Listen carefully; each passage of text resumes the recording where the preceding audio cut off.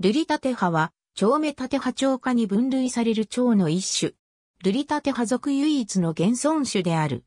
学名のカナスカは、クシャーナ朝の君主か西か一世、コナチは、ギリシア神話の女性、カナ系に由来する。木肌に止まった陽子成虫の全視長は25から 45mm。濃い黒褐色の羽の表面に、瑠璃の和名通りの鮮やかな瑠璃色の帯模様が入るのが特徴である。この帯模様は、前肢の先端部で切れ、白い斑点がつく。この色彩等は、雌雄で、差はないが、メスは、羽と青色体が幅広になる傾向がある。裏面は灰褐色で細かい模様があり、樹皮や落ち葉に似る。羽の外縁は他の縦波長赤と同様小さな凹凸がある。羽の表側に限れば、日本には類似種がおらず、他の蝶と区別しやすい。平地の森林内や周辺部に生息し、都市部の公園や緑地などにも現れる。成虫は団地では年に2から3回、寒冷地では年に1回の発生となる。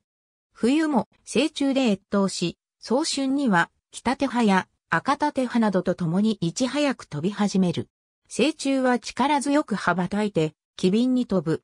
羽を閉じて止まっている時は、羽の裏が保護色になるので見つけにくいが、羽を開くと、羽の表側の黒と瑠璃色がよく目立つ。サルトリーバラの葉裏にいる幼虫オスは縄張りを張る性質があり、木の葉や岩石の上など見晴らしの良い場所で羽を広げて止まり、他のオスが接近すると激しく追い立てる。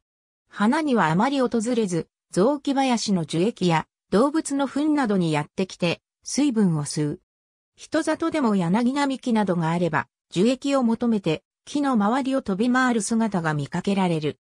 幼虫は地色が四国色で、無毒の紅白色のトゲ状突起を計68本持つ。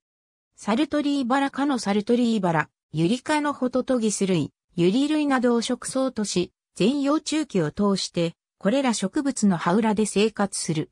東アジア、南アジアに分布する。日本では北海道南部から南西諸島までに分布する。トカラ列島以南の南西諸島のものは、琉球亜種、KC 伊島、種ヶ島、屋久島以北のものは、日本本土亜種、KC ノージェポーニカムとして分類されている。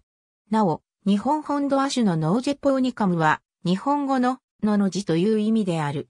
これは、水色の帯模様が緩やかな曲線を描き、文字通り、のの字となることに由来する。近年、台湾からの飛来した台湾亜種、KC ドレランも与那国島で記録されている。ありがとうございます。